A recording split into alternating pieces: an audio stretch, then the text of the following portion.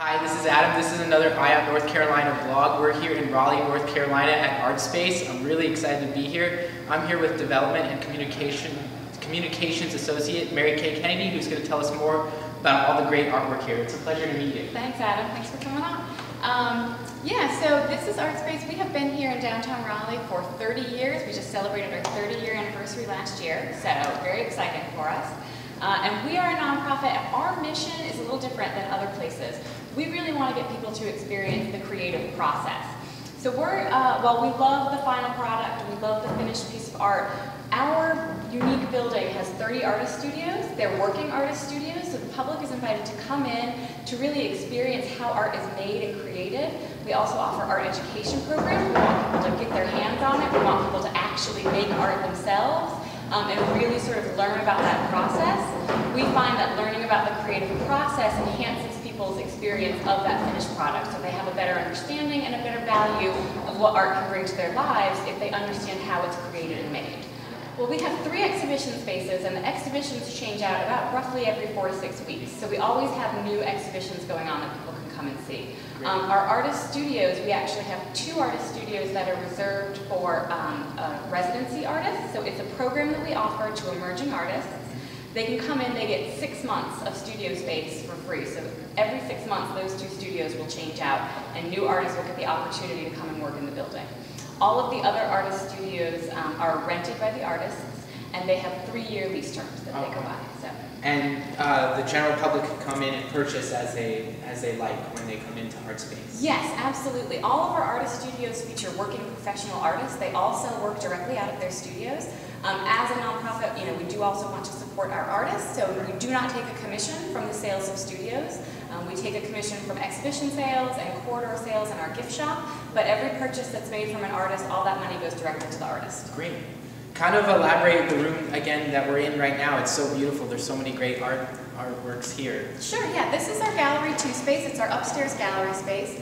Um, right now, um, Ambiori Santos is the artist that we have on view. He's an abstract artist who works in a lot of different mixed media. We have curatorial themes that go for um, all of our exhibitions. And then downstairs in our book art show, um, it's called Refuse or Refuse. Um, and it is all uh, part of the Triangle Book Arts group. So members from that group came in and they all took books and different things that could be, you know, paper objects and things like that, and they repurposed them into some of these really amazing books. And the public is invited to come in. Lots of the works you can touch and handle. We have gloves on site, so you can open them up and read yeah. them. Yeah. yeah. So it's really cool.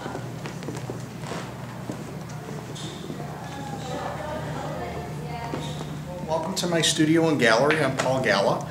Um, I've been at ArtSpace about four years. I've been a professional artist for about 22 years now. And my work is kind of unique. I tend to work entirely on aluminum, although I still will work on canvas and sometimes board. And I am a reductive style artist, so I work with a lot of color, and I tend to do almost a sculpting technique where I remove as much paint as I put on. We come in and we look at this piece. There is no white paint in this painting. There's actually just a lot of Indian yellow, a lot of red, and then I will come in and, let's say this was a massive red, I'm actually coming in and sculpting away paper, uh, paint with soft tools. Anything that would be rubber, something that can not scratch the aluminum, because the aluminum itself is a white baked enamel. Um, and I move into different things. This is another seascape type thing, same technique. There's really no white paint in this painting. This is just me rubbing down to that um, white baked enamel, leading some Indian yellow um, and just moving through different techniques. Here's another landscape, same technique, um, working my way back, finding trees, finding rocks, finding the water, and just finding a, a way to make an illusion and take people on a journey of mystery. But again, there's no white paint. It's working it down. Again, here a little kind of a storm circle. Just again, no white paint, just finding, sculpting, shaping, moving, changing the direction of things. Florals, love them, absolutely love florals. Same technique. Great. So I have a rainbow palette going on right now. I've got blues, greens, yellows, oranges, reds, purples, and a big hunk of white. And right now I'm mixing colors for this piece that I'm working on. I'm looking to bring out some lights. And so I'm mixing some warm light colors um, because I have to have my palette balanced before I can make a balanced painting. Yeah, this piece is part of my new architecture abstraction series. And so um, right now I've got this cloud kind of going through and covering, obscuring part of the building. And so um, I'm working, I'm playing with like foreground and background. And it's really fun.